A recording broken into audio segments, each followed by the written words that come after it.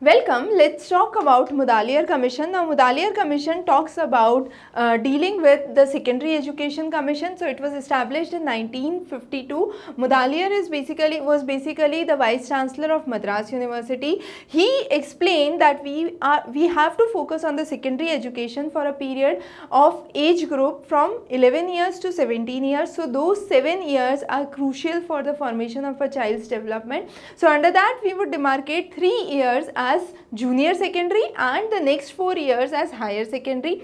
The diversification of the courses should be there and it should be as either general courses or vocational courses.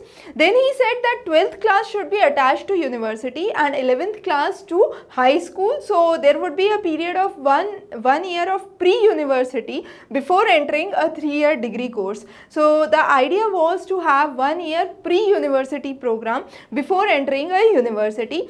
Technical schools and technical colleges are highly focused under this commission. Then you had a idea of multi-purpose school. These were established from various uh, branches. So it included technology, commerce, agriculture. Agriculture was one of the major aspects that were introduced under the uh, Secondary Education Commission by Mudaliar. Similarly, you have the idea of regional language, one compulsory language and picking up one optional from the seven optionals that were there. So those were humanities, sciences, technical, commercial, agriculture, fine arts and home science. So he talked about the following optional courses that a student can have in a secondary program. He talked about uh, reconstruction of the secondary schools after uh, 5 years. Uh, there should be the idea of co-education that should be provided. Some of the important methods that he focused was activity method and project method. Similarly, he also talked about experiment and demonstration in the schools as a major idea working in groups, activity based learning and focus focusing on symbolic grading rather than numerical marking. So, grading system was another thing that was proposed under this commission.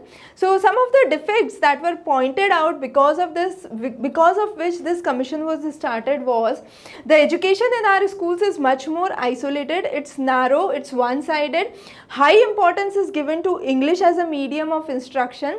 The method of teaching fails to bring out the independence of the candidate and fails to bring in a kind of practical practical learning and there is a kind of dead weight of the examination that basically curbs the initiative of the students and the teachers to exactly learn and experiment. So some of the recommendations talked about improving vocational efficiency so a child can earn. Then education for leadership, development of personality and development of democratic citizenship. So those were the key re uh, recommendations that were provided under the Mudaliar Commission. Some of the principles that were followed were principle of totality of experience, variety and elasticity, uh, principles related to community, training for leisure, integration and correlation. So, these were the five principles that were laid down under the Mudaliar Commission.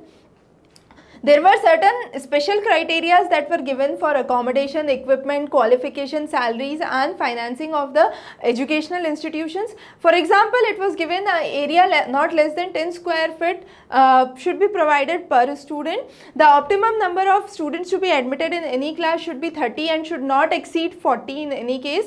The optimum number of uh, students in a school should be 500 and maximum up to 750. 6 days a week should be the working criteria with a minimum of 200 working days.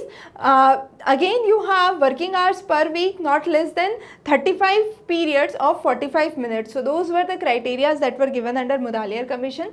Uh, called industrial education cess should be levied. Now some of the basic uh, merits or benefits of this commission was it focused on activity based learning as we said agricultural education was focused. There was child centered education Teachers' salary and positions were improved, co-curricular activities were promoted, there was higher stress that was laid on multi-purpose schooling and open technical education. However, uh, there were certain demerits associated to this commission. The first was most of the suggestions were given in uh, hurried. So, the idea was the problems are still there, the active solutions for those problem is not yet formulated. Again, it recommended that English should not be, uh, English is stressed too much but it is still there so still English is stressed too much.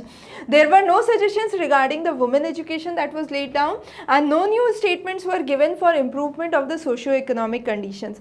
So those were some of the highlights of Mudaliar Commission. It was an important commission for the purpose of secondary education in India and the, some of the recommendations as we talked about were really important for uh, bringing in a reform in the school system. We'll be talking about more commissions and committees in the upcoming classes so stay tuned have a great day ahead.